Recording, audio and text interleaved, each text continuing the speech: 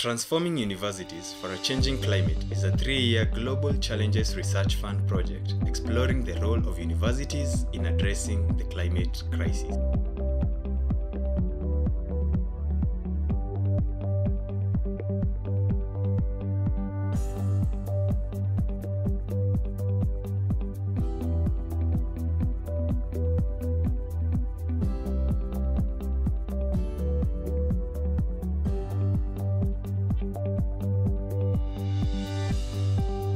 The origin of, uh, of this project uh, is in our concern about climate change uh, and our concern about the university and the direction it's going. Um, our particular project is funded uh, as part of the Global Challenges Research Fund for, for those people who are familiar with, with the UKC. And it's for international work that addresses cru- crucial development challenges. And our specific call was part was the education as a driver for sustainable development call. Um, a lot of those projects were looking at basic education. Ours was one of them that focused specifically on higher education. Um, and we see the universities having an absolutely crucial role uh, in relation to the challenge of climate change. Higher education institutions have a crucial role in responding to the climate crisis, not only through carrying out research, but also through teaching, community engagement, and public awareness. The project has four main objectives to support local action on climate change in the participating countries through creation of participatory action research groups in universities, to assess existing coverage of climate change in the curricula, research, and community engagement activities in the countries, to contribute to theory and understanding of the impact of higher education on climate change and sustainable development, as well as to build and strengthen national, regional, and global university networks and knowledge on climate change. We have three universities participating, and uh, uh, KEMU uh, is uh, part of the collaborative effort. We believe that uh, this is going to continue even beyond the project. We believe that the interactions that we've started will continue. Uh, we've had uh, interactions with the PRG group members, like we have discussed before, and uh, the efforts that we're seeing through the curriculum reviews in the three universities as well as the greening activities has come up as a result of the interactions we've had with the university community as well as other stakeholders. And uh, this is something that we want to see going forward, that the interaction between uh, institutions themselves, but also institutions and other stakeholders without uh, the university boundaries to address issues uh, related to climate change. We are involved, like already highlighted by Dr. Jacqueline Nyerere, who is a lead person in the country for the three uh, university, and we are part of the team that is uh, working on this uh, element of uh, uh, you know, transforming university. And I think the center of this whole story is where do how do the university take their place. I think that is what we must take home. The universities need, and KEMU in particular as an example, need to take its place. Uh, we're working with a community, a coastal community in, um, in Fiji. And um, one of the issues that uh, was brought to light, that was one of the reasons we uh, uh, was engaged with this community is um, um, their watershed is drying. Um, and it's interesting to go uh, in Fiji. One of our uh, cultural practices, the the culturally accepted way of um, of sharing information is talanoa, where we sit down and we talk, storing, um, uh, to to find out about, uh, for them to tell us their story, and then we see the gaps and we see where we can collaborate with them in um, addressing the issues uh, that they are facing. Uh, at University of Passo Fundo, we implemented a green office. Green office is an academic office uh, with the aim to empower uh, the students regarding uh, actions to sustainability. Uh, the green office um, is um, doing many activities uh, as research, outreach, and also teaching uh, the students uh, with many different uh, ideas, including climate change and sustainable development goals.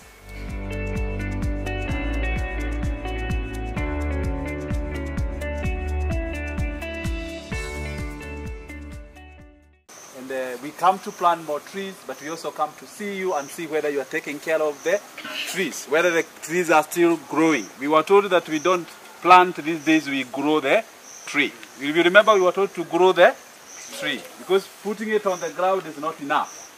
We must ensure it gets to become a tree like the ones behind you.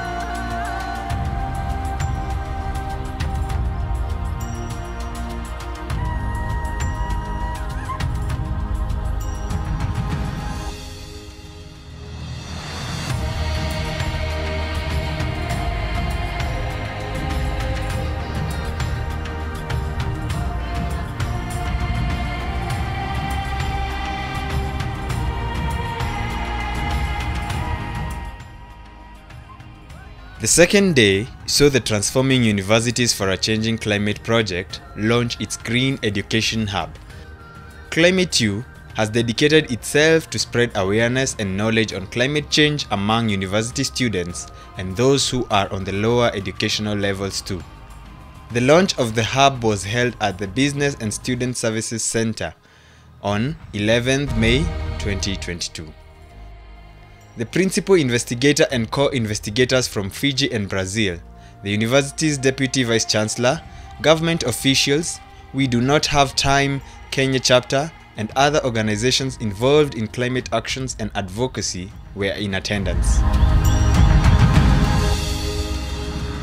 COVID has given us some lessons.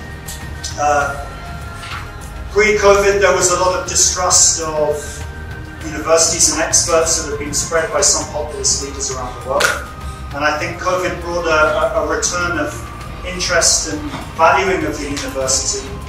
Um, the Sustainable Development Goals have also brought a return of interest in higher education as one of the key players uh, in, in solving our global problems. We need to think about the global level, we need to think about the national level. But none of that is going to have any impact if we don't have people at the grassroots developing their own initiatives, innovating, experimenting, working in, in classrooms, uh, in clubs, and of course students are at the centre.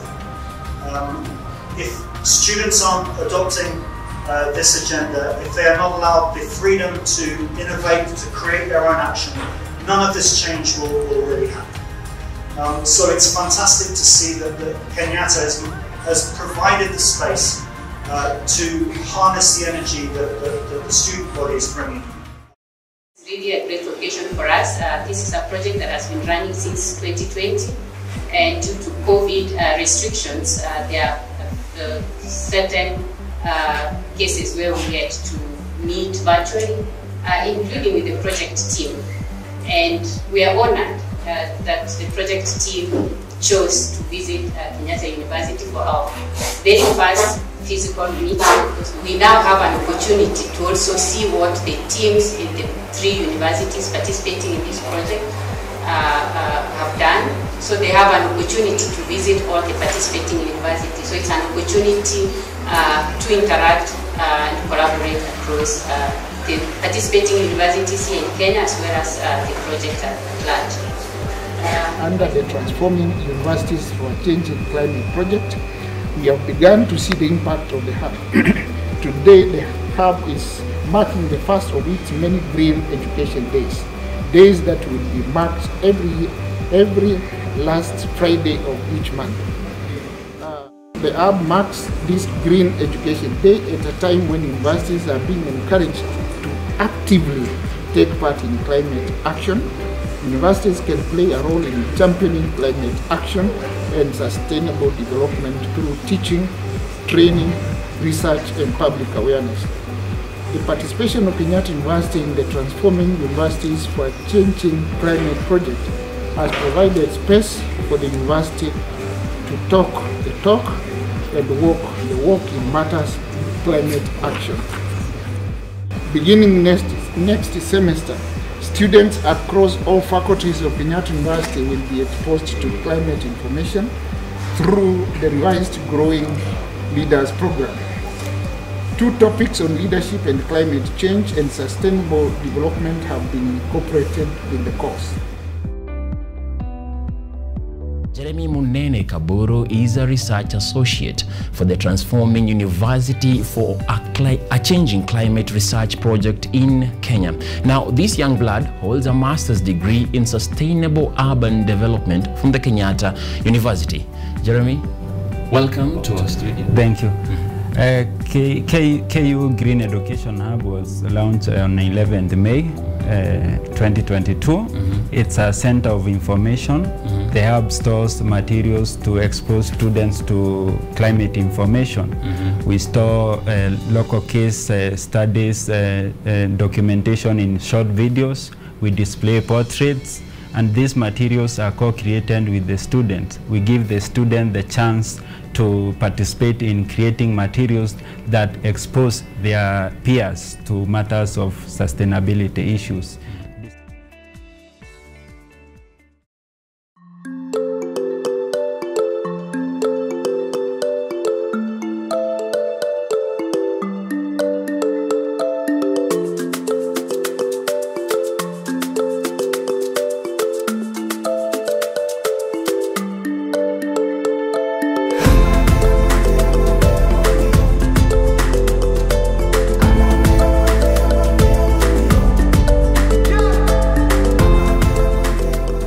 Climate U researchers visit to Kisii University provided an ideal chance for them to learn more about the piloted interventions at the institution by the Participatory Action Research Group.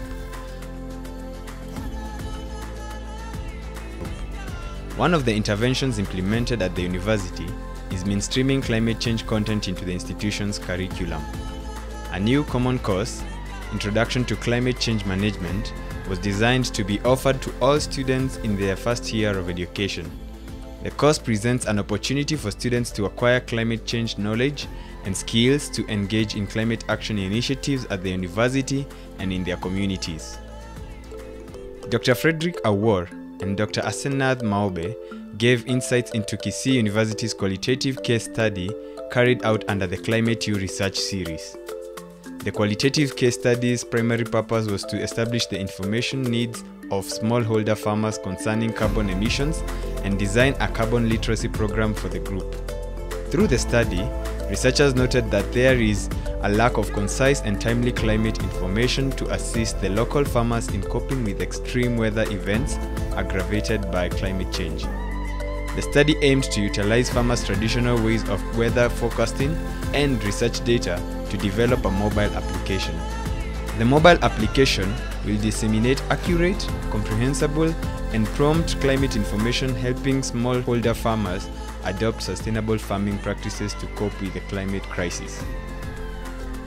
Moreover, the Participatory Action Research Group selected to implement three feasible greening activities to complement the curriculum intervention. The greening activities promote clean energy and smart farming initiatives and expose students to practical applications of strengthening climate action initiatives.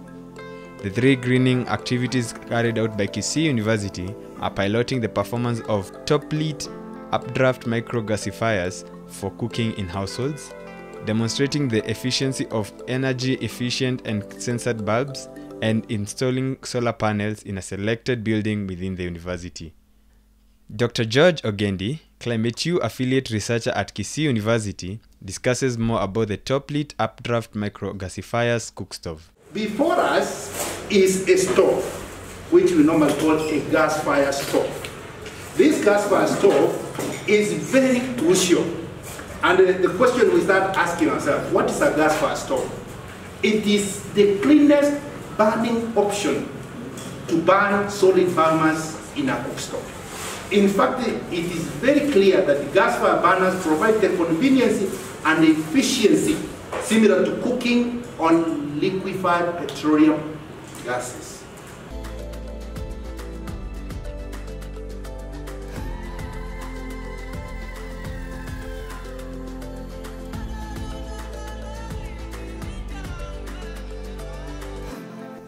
The researchers visited the household of Mr. Peter Ribambo, one of the beneficiaries of the microgasifier's cook stove.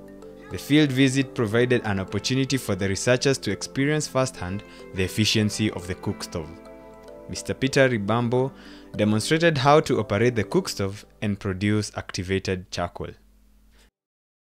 Cool it, now they let it cool free like that and then they grind. They make the yagera activated charcoal. ntokonyora emberia emberia kobororo buneri ekero ogosamba amakaro mate ngotwara are carbon Yes, when you normally uh, uh, burn charcoal, you normally limit the oxygen and it does a lot of carbon.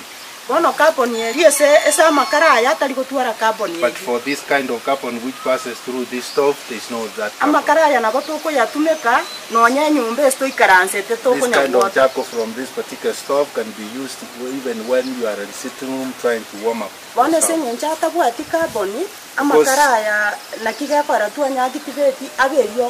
Because it has less carbon, that's why they just grind it and they form it into activated charcoal.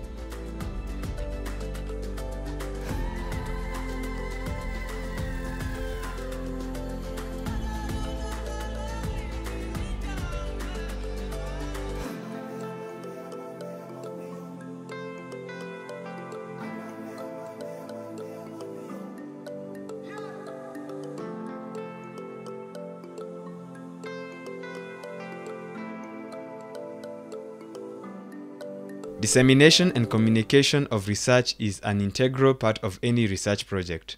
The two play a crucial role in increasing the visibility of research outputs and promote further engagement and collaboration to ensure continued support of the piloted project. Dissemination and communication draw the attention of policymakers, communities, academics, and stakeholders to research results and conclusions enhancing their visibility, comprehension, and implementation. Climate U researchers in Kenya have been utilizing social media such as Twitter and YouTube to disseminate the project's information to the public and online community. The research have also been relying on mass media tools such as newspapers and TV talk shows to communicate about Climate U breakthroughs in Kenya. In November 2022, Climate U's three participating universities in Kenya, University of Dar es Salaam in Tanzania, and University College of London, organized a hybrid event. The event aimed to reflect on the implications of COP27 for universities and explore how Climate U can contribute to climate action through green education goals and commitments. You're aware the COP27 just ended, and we and the whole issue is about um, the changing climate. What justice is, is it there? Uh, is there justice for uh, for the developing countries? So, as a universities in developing countries, this is something we take leadership of, and to try and uh, ensure that our society is well versed on issues of climate change and have um, nuggets and ways of trying to address these issues in their various perspectives. Yeah, thank you very much. Universities uh, need to play several roles among disseminating the knowledge. We know how our communities are a little bit deficient in knowledge in respect to climate change. So universities are coming in to demystify so that this knowledge is broken down to the lower level and when now our graduates go back home to their respective communities they can easily inform their neighbors in that simple language. Therefore their communities will understand other than making it in a complicated way global warming climate change which is scaring people. But if now these learners get this knowledge and they go back to their communities they tell their parents in one way or another you as a parent you are playing a key role in respect to producing these greenhouse gases.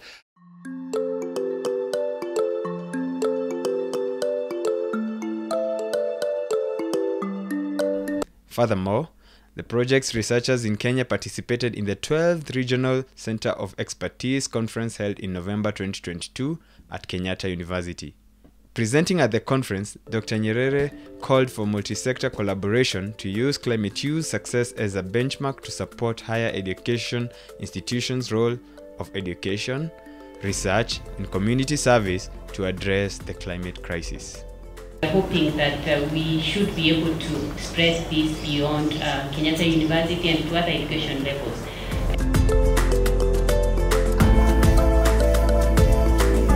Green Education Day provides a platform for students to create themed awareness on climate issues where we, they can do awareness work, they can do tree planting, they can do uh, community cleanup.